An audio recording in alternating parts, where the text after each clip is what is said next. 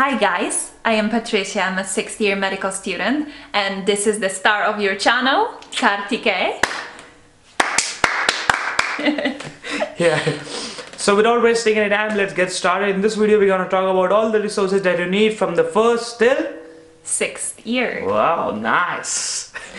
So I think I should go ahead with the first year and second and so on, and Yeah. you can start all those with clinical years. Sure. So in the first year, we have main subjects as in anatomy, histology, and embryology. We have physiology and biochemistry and microbiology in the second year, not in the first year. Like in India, we have all these three subjects in the first year, but here you have just anat, histo, and embryo in the first year, along with like basic biological physics, chemistry, and medical biology, along with Ukrainian language, of course. So these are the main subjects of the first year.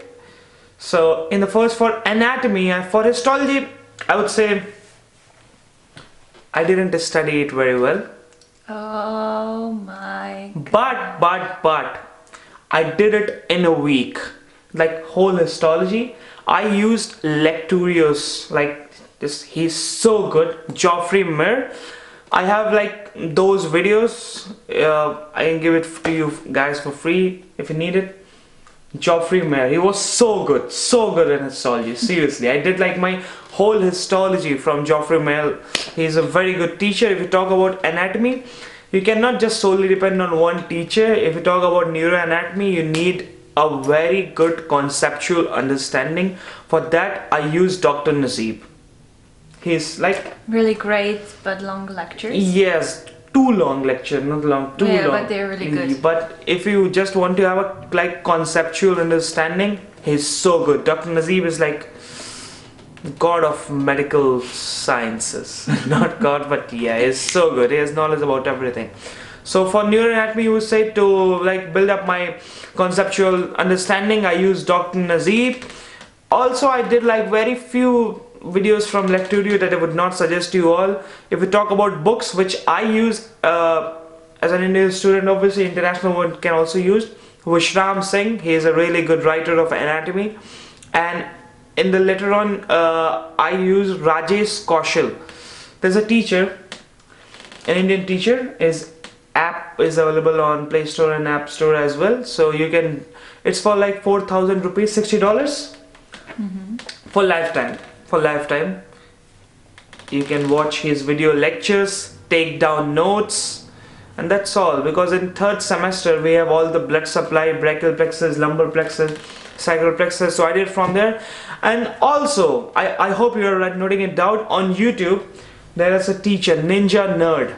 Oh yeah. yeah he's he's really good ninja nerd. So if you're Armando. Armando Hasudungan is like I prefer more him like in physiology. Oh yeah, maybe, maybe because I yes. sometimes revise some clinical physiology with him. Yes, That's is good with that. But if you just stick with the basic anatomy, so these are the resources you can really use in your med school in the first course.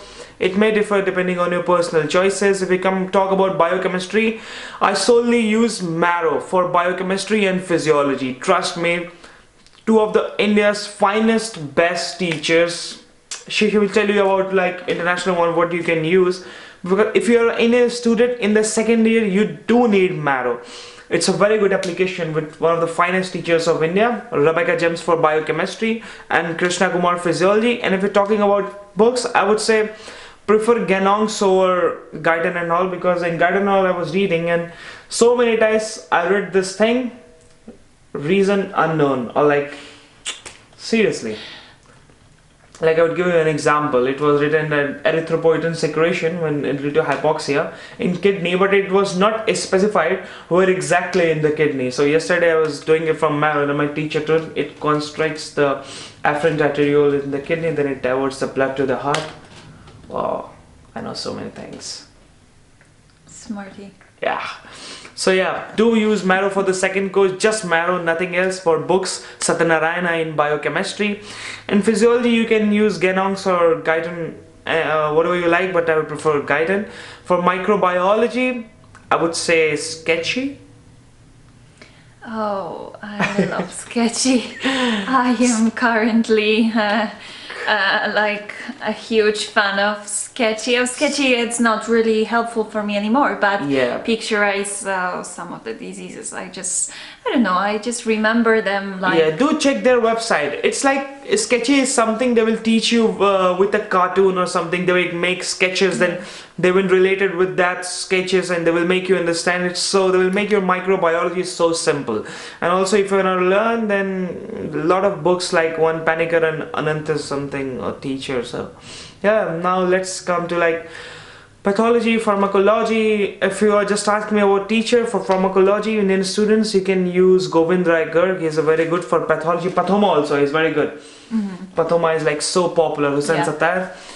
And uh, you want to stress about on something these subjects biochemistry physiology or any other supplement which they can use You mentioned the Sketchy. Sketchy Yeah. has a microbiology, parasitology, virusology. Now they have some clinical subjects too, Yeah. but um, I am not a fan of uh, studying, let's say, internal medicine from sketches. Uh, I would agree for some genetic diseases or metabolic diseases that are really, really difficult to remember. Yeah, in this case, yeah. But all the rest is just logical by itself, so you don't need a sketches for internal medicine to remember the, most of the diseases. But still, Sketchy is amazing. and uh, it's it's a really good app so what about those clinical like pathology and pharmacology where did uh, like from which sources you did these two subjects It's hard to recommend some online source. Um, Any and specific it's also books? Hard, hard for me to remember. Honestly, it was a few years ago, and I guess I will update you with that so that you can maybe write it in, Yeah, in but- comments. Because I did not check uh, uh, some pharmacology book. Um, Satyanarayana. I was Satyanarayana, yeah, is biochemistry. In our Oh, library, even they do have this Yeah, Indian writer. they do. Uh, for pharmacology, um, I really I have to check it because Yeah, I'm not but- sure. Uh, what do you think is watching like video lectures helpful? It depends on what. It depends what you're talking about, and some of them are extremely helpful, and they save a lot of time on searching uh, through throughout the books and getting to to read thousands of pages concerning pathophysiology of something. When someone in the same time can explain for you something in ten minutes Yeah. with uh, drawing, with uh, some some diagrams, graphs. So it's extremely So good. yeah, if you want to watch video lectures for pharmacology, you can refer to Govind Rai Garg. His apps uh, app is available on both Play Store and App Store. Let's move to clinical subjects now. She she will like tell you better. Well, I. Surgery, internal, yeah, you, you will. Okay, so I Surgery, have- medicine, and I pediatrics. have some and- notes. Let me Yeah. open them. Um, sorts, but you still you you have to keep checking, keep refreshing your knowledge. So I will give you some of the websites where you can um, be sure that the knowledge is updated and that the knowledge is uh, real, not uh, some Yeah. some resources for the patients, and it's written with a professional language. Um, so let's see, Medscape. Uh, that's first of all. Medscape is great for diseases. Meds- it's really okay, Medscape. okay, yeah. Medscape. Um, it's really good for for getting to know about the diseases. It's quite long in an explanation, but um, you can, if you want to read, you can even use Medscape instead of the book. And it is an updated knowledge. They update it every single day, so it's really great resource. Uh, also, they have an application with news, but they have another application which is Medscape application where you can easily find the diseases and you can easily find the drugs. So uh, you can get to know the dose for a drug really quickly uh, with the form of administration, with even pediatric and geriatric dose. Perfect one. I use it every single day because if I. Mm, yeah. Yeah. if I have to prescribe some some drug uh, for the test or for the patient or whatever, I have to know the dose, and you don't remember all the doses. Let's be honest. Uh, all the doses. So um, I, I just open Medscape. It takes a few seconds, and I get to know the dose. Uh, the alternative is MSD Pro. This is shorter, Okay. more contained information. Uh, are these resources free or? Yeah, they are they are free. Yes, uh, both of them are free. Um, then uh, PubMed is uh, a resource uh, containing articles. So if you want to get to know something even deeper or something that wasn't it was published but wasn't uh, introduced into clinical medicine yet So PubMed is uh, the biggest uh, site, the biggest source of an online articles.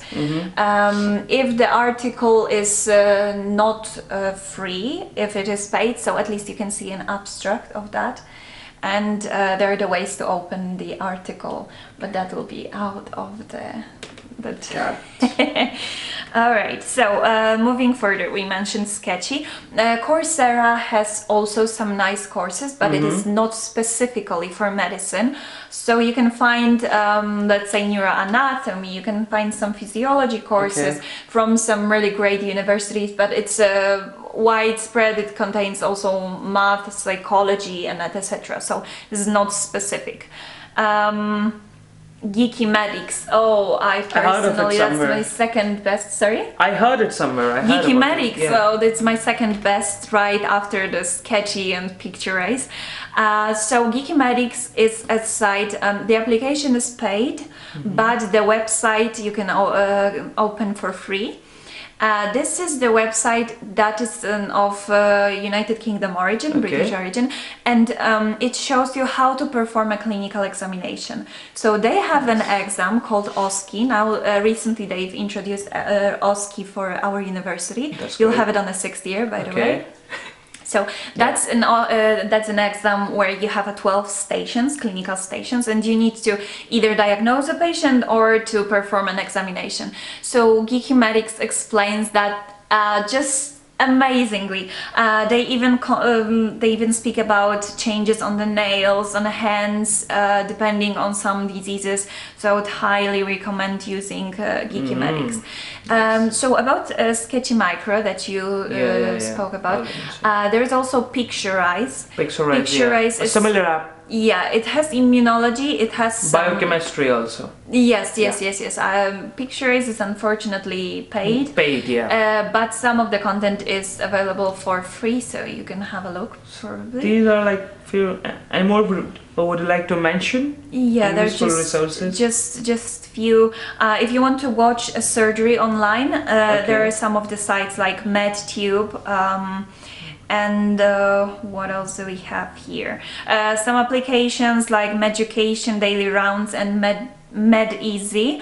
Uh, this helps you to get to uh, know more and more clinical cases to make it easier to to solve them when when you go to an exam or when you actually go to a rotation in, in clinical medicine. Um, the eye manual is specific for, for ophthalmology. It can be also useful. They're gonna help me a lot, I guess. Really. Oh yeah, I will. Yeah. I will forward them to Yeah. you later. Uh, so just uh, quickly to finish, um, for uh, getting uh, the knowledge about auscultation, for even listening, how the auscultation, how the heart sounds. Um, how, how they are in Love, reality. Yes, so you can use the site Easy Auscultation, really good one. Is it for just for listening to our heart sound? Uh, it shows the normal physiological heart sounds and also patho- pathological depending on the heart Oh, disease is great. nice. Uh, ECG Waves is uh, again the, the website where you can study ECG, Mm-hmm. how it looks, what are the pathologies, what changes.